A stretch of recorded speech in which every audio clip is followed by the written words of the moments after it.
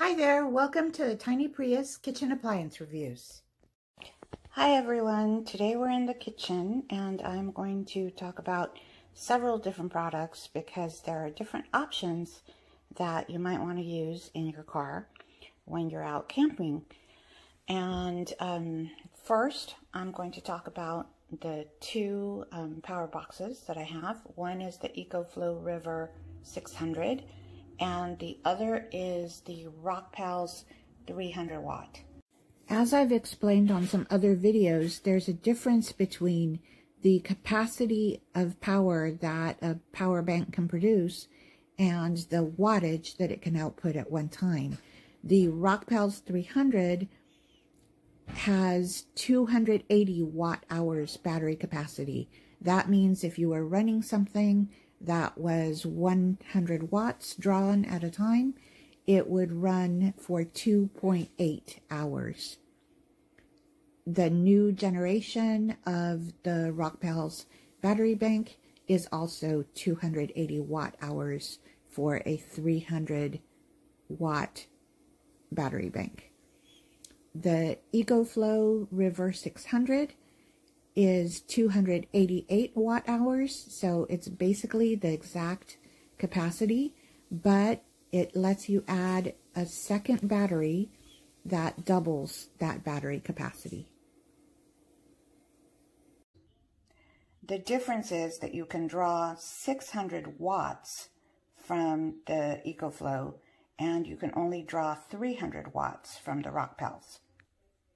As you can see, the two items are a really different size, and that's because the EcoFlow has a lot more electronics into it. It has a bigger fan. I'm not sure what else is in there. One of the cool things about the EcoFlow, which is why I think it's also considerably more expensive, is that not only does it let you draw 600 watts at a time, you can actually use a feature called X-Boost that lets you use appliances that draw a higher wattage than 600 watts and it just lowers them so that they draw less wattage. You can't do it with everything. For example, I wouldn't try it with a hair dryer, but you can try it with something like a kettle or a cooktop. It just won't provide you the normal amount of power that that appliance gives you when you plug it into the wall.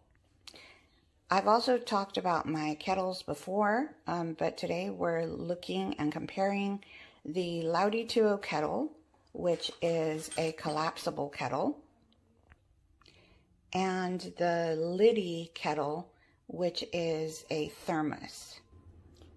When you open it, it looks like this. You get a thermos top and a mug. And the inside of the kettle is all stainless steel. When you expand the Loutytuo, the handle um, comes off and you put it on the side.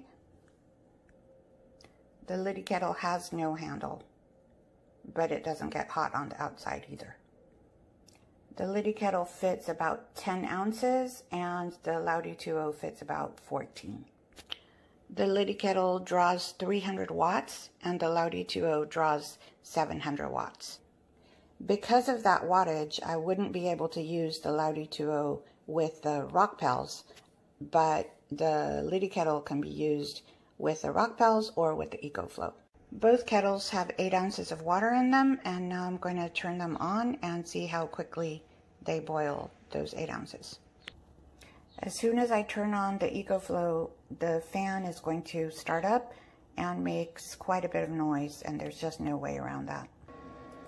So now you can hear the fan noise and you can see that the output has been reduced to 595 watts.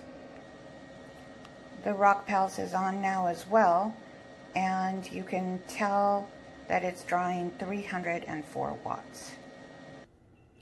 With a EcoFlow off, you can see that the Rockpals is pretty quiet. Its fan hasn't gone off. I've set the timer on my phone for three minutes and that's when I'm going to check them. They've only been on for about 45 seconds, but you can see that both of them are heating up pretty quickly. The Loutytuo kettle is actually at a full boil at 2 minutes.